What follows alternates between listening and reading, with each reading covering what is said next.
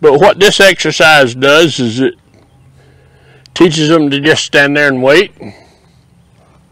Okay. I don't have a patience pole per se.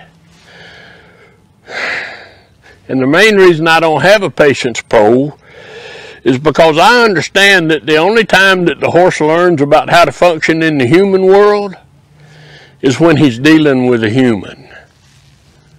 Okay? I get so tickled at people taking that horse out there and tying him up and thinking, oh, this is going to teach him patience.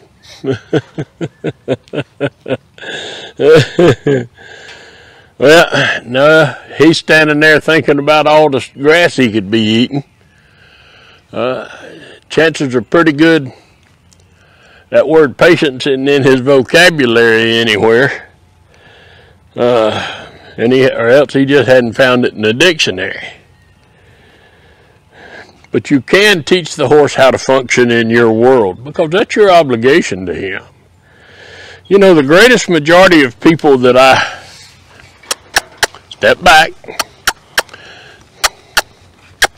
Good. And see, when I turned, turned and moved, she started to step up. This mare knows about hooking up. Okay.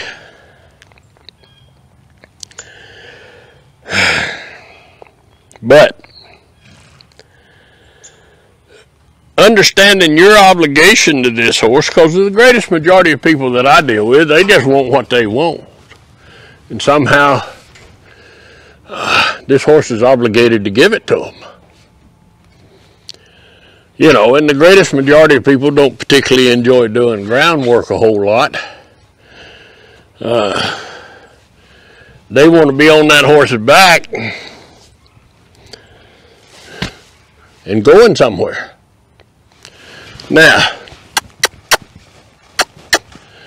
whether or not they know anything about how to get where they want to go or not, or how to communicate it to this horse. You know, one of the things that I explain to people is the horse learns more about that bit in the first couple of minutes of this thing being in his mouth than the human learns in a lifetime. You know, and it's a real, there's a real simple reason why, and that's because that bit's sitting in his mouth. It's not sitting in your mouth. You know, I can walk out and watch somebody on a horse, and I can pretty well tell you about their hands. I can tell you what the horse thinks about their hands. You know, because when I want when I'm on a horse, I want him to trust my hands. I want him to understand my hands are going to be kind.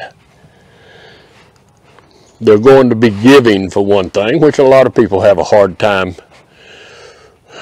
understanding that concept, they don't want to be giving anything to the horse because this horse has got an obligation to give to them.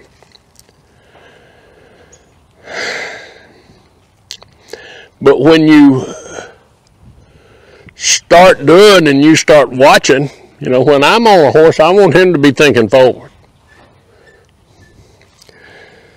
I don't want him being so concerned about my hands that he spends his time watching my hands.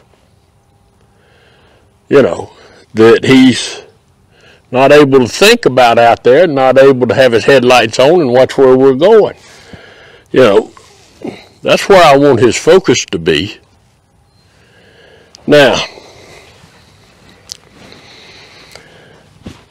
and understanding that number one, bits don't train horses. And bits get people in a lot of trouble because the greatest majority of them don't learn enough about how the act, how the bit actually works. in order to understand what they're doing.